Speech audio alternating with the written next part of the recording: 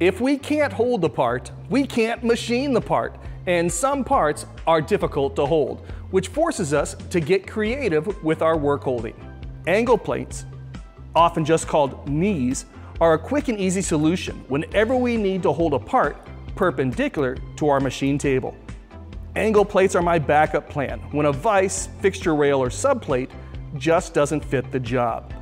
If a part is too large or oddly shaped for a typical vise setup, we can use angle plates to help us build up a work holding solution. Running longer bars or plates, line up more than one knee for better support. Mount a subplate or zero point fixture to a knee for even more versatility.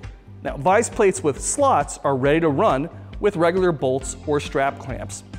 Now, these plates are also helpful on manual equipment when some extra stability is needed, or just to keep parts from spinning out of hand on our drill presses.